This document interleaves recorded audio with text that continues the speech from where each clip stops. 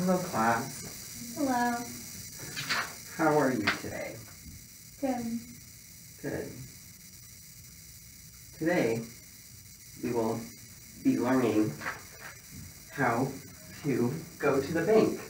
Have you ever been to the bank? Yes. Yeah. Was it a successful interaction? No. No.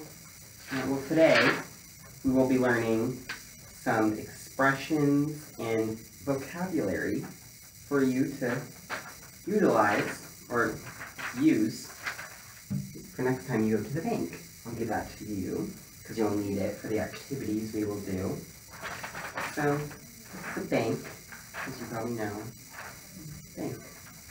And I'm just gonna go through and explain some of the vocabulary so you can match it up to the sheet real quickly.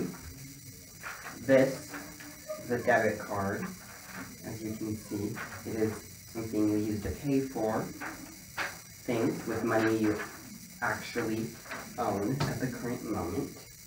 And this is a credit card, where you put things on credit, which means you promise to pay them back in a future time. And this, what do you think this is? You think Bank. Fine. Interaction. bank teller? This is the bank teller. Bank teller. So, the person you speak to at the bank. And yeah, is there any vocabulary you don't understand or? Loan. A loan? Loan. A loan is is kind of like a credit card, except it's just it's just a promise. to You get money and you promise to pay it back at a later time.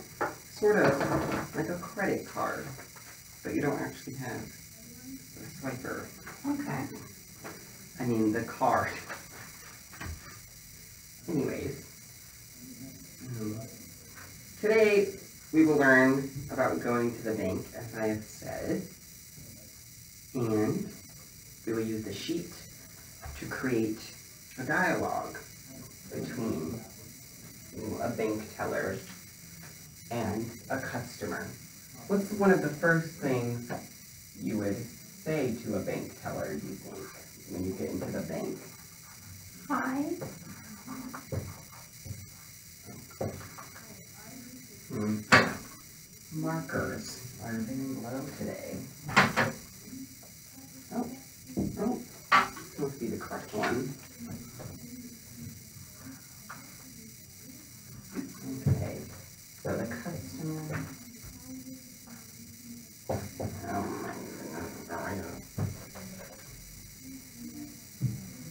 Hmm, hmm, bad.